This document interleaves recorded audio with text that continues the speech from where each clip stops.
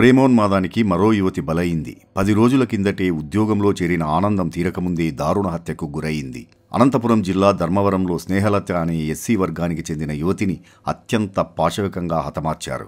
ఈ అంశంపై జిల్లా వ్యాప్తంగా నిరసనలు వ్యక్తమయ్యాయి. ఇందులో భాగంగా హిందూపురం పట్టణంలో ఎంఆర్పిఎస్ నాయకులు సతీష్ శివ ముస్లిం నగారా నాయకులు ఉమర్ ఫారూక్ ఎంఎస్ఎఫ్ నాయకులు రవికుమార్ వినోద్ విజయ్ క్రాంతి మంజు తెలుగుదేశం పార్టీ నాయకులు అంబికా లక్ష్మీనారాయణ పల్లె రఘునాథ్ రెడ్డి పార్థసారథి అంజినప్ప మరియు పరిటాల రవి తనయుడు పరిటాల శ్రీరామ్ కూడా ఈ నిరసన కార్యక్రమంలో పాల్గొన్నారు. అంబేద్కర్ సర్కిల్లో ప్రజలందరూ ఈ యొక్క అంశంపై నిరసన వ్యక్తం చేసి స్నేహలతకు న్యాయం చేకూర్చాలని ఆమెను అత్యంత దారుణంగా హతమార్చిన హంతకులను శిక్షించాలని నినదించారు. ఆ వార్తా విశేషాలు చూద్దాం. రాష్ట్రమంతటా దళితులు పీడిత సామాజిక వర్గం ఎదురు తిరిగి మేమే వాళ్ళని కాల్చాలా? చట్టం మా చేతిలో తీసుకోవాలా? లేకపోతే చట్టం ఖచ్చితంగా పనిచేస్తుందా? మీకు హెచ్చరిక చేస్తున్నాము. ఖచ్చితంగా మీరు వాళ్ళని ఎవరు ఈ అత్యాచారం చేశారో వాళ్ళని ఖచ్చితంగా కాల్చాలి. కాల్చకపోతే దయచేసి గౌరవనీయ ముఖ్యమంత్రి జగన్మోహన్ రెడ్డి గారికి విన్నపం చేస్తున్నాము. మా విన్నపం ఏమంటే దిశా చట్టాన్ని ఖచ్చితంగా అమలు చేయండి. పీడిత సామాజిక వర్గం దళిత మహిళల మీద మైనార్టీల మీద జరిగిన అత్యాచారాలకు మీరు ఎన్కౌంటర్ చేసి మీరు దళితుల మీద మైనారిటీల మీద ఖచ్చితంగా ప్రేమ ఉందని నిరూపించుకోవాలని మేము ఇక్కడి నుంచి విజ్ఞప్తి చేస్తున్నాం గౌరవనీయ జగన్మోహన్ రెడ్డి గారికి. దళిత మహిళలకు ఎక్కడ చూసినా రక్షణ లేకుండా పోతా ఉంది. దాని యొక్క ఘనత ఈ వైఎస్ఆర్ ప్రభుత్వందే అని నేను తెలియజేస్తున్నాను. ఎందుకంటే ఏ పార్టీ వారైనా కూడా దళితులను కేవలం ఓటు బ్యాంకుగా మాత్రమే వాడుకున్నారే తప్ప ఎవరు కూడా దళితుల యోగక్షేమాలు కానీ దళితులకు సంబంధించినటువంటి ఎటువంటి అభివృద్ధి సంక్షేమ పథకాలు కానీ వాళ్ళకు సక్రమంగా అందే విధంగా లేకుండా దళారులనే ఏర్పాటు చేసుకొని వాళ్ళు వాళ్ళ యొక్క పబ్బం గడుపుతున్నారు తప్ప మనస్ఫూర్తిగా నిజాయితీగా దళితులను సేవ చేసినటువంటి పార్టీ ఏదీ లేదని చెప్పేసి నేను తెలియజేస్తున్నాను. ఎందుకంటే దానికి నిదర్శనం మన తెలంగాణలో ప్రియాంకారెడ్డి పైన అత్యాచారం జరిగితే మొత్తం పార్టీలన్నీ కలిసి మొత్తం అన్ని సంఘాలు కలిసి ఎన్కౌంటర్ చేయడం జరిగింది. నలభై రెండు గంటల్లోనే నిందితులను పట్టుకొని ఎన్కౌంటర్ చేయడం జరిగింది.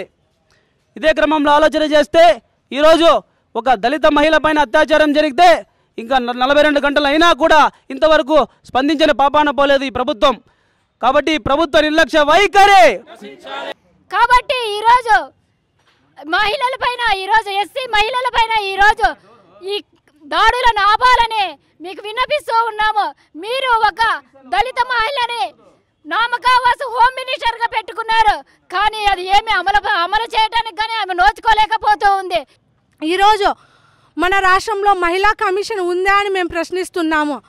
ఆమె ఒక బాధిత కుటుంబాన్ని పరామర్శించడానికి వచ్చిన మహిళా కమిషన్ వాసిరెడ్డి పద్మా గారు ఈరోజు ఆ కుటుంబానికి ధైర్యాన్ని భరోసాన్ని ఇవ్వడం మానేసి ఆమె ఒక ప్రెస్ మీట్ పెట్టి మా గౌరవం మాజీ ముఖ్యమంత్రి వర్యులు నారా చంద్రబాబు గారిని తెలుగుదేశం ప్రభుత్వాన్ని విమర్శిస్తోంది. శివరాజకీయాలు చేస్తారు తెలుగుదేశం ప్రభుత్వం అంటోంది. అవును నిజమేనేమో మీకు శివరాజకీయాలు చేసినంత బాగా మాకు తెలి తెలియదని కూడా మేము చెప్తున్నాము. ఎవరికి అమలవుతుంది?